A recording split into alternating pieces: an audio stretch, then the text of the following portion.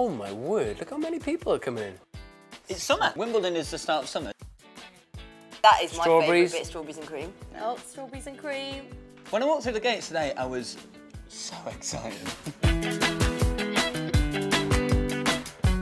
Serena Williams' opponent is 20 years old. This is her first Wimbledon. I would not come to court. Are you serious? I'm so gutted for the other player. Like, Yeah, I've, got, I've got to Wimbledon. I've finally got to Wimbledon. Who have I drawn? Serena Williams. Oh god. All right, well. Match point. Match Match point. I think we know what's going to happen. Hold on, I'd be scared, but she's just come out and like pub a fight, and that's Yeah. what we want. I think she's going to win this year. She's looking in great shape. Look at her. I'm waiting for Djokovic. Speaking of the devil, jo Djokovic. Yeah. Do you know what I think Djokovic looks like? Sexy postman Pat. Oh, hang on. so, Oh, oh my god, look! Can you see the bird? Oh, that is so sweet. if Bill Oddie has taught me anything, then that is a blue tit. There's a little birdie on there. Yeah, they kept having to stop play. It just wouldn't I love off the way you tell me stories. They have an eagle at Wimbledon that ch- scares off all the big birds, uh, the little birds. They have like a trained Yeah, eagle. obviously not. I think the bird should win and both players should be knocked down. Classic moment.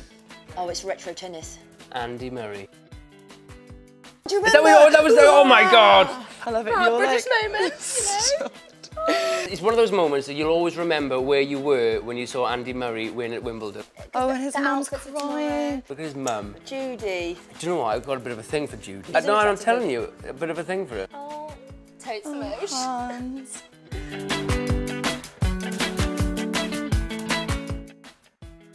Who's this guy? Oh, um, Broady, the new British hope. Really good. You He's like the new- fancy him? I like him. I think he's my new crush. That Oh, works. oh, and he's good at tennis. Did you see that? Yeah, that's what we need. Yeah. Oh, he won! Yay! That's so good. If he beats Murray, they're gonna have to rename, rename the mound thing. What will they Murray's call it? mound. Liam's lump. Like the Broady. Broady. The Broady booty. Booty. The Broady, Broady. booty or the Broady Raw. um, They've got people working on this. There. yeah, they have. the Broady. I don't know what other things begin with B. Bad boy of tennis. Bad boy of bulls. Stop talking now. Sorry. Uh, No, I've lost. Imagine if he won Wimbledon. That'd be amazing. That's fine. Look at him. Hero, the new hero of British tennis. Wow.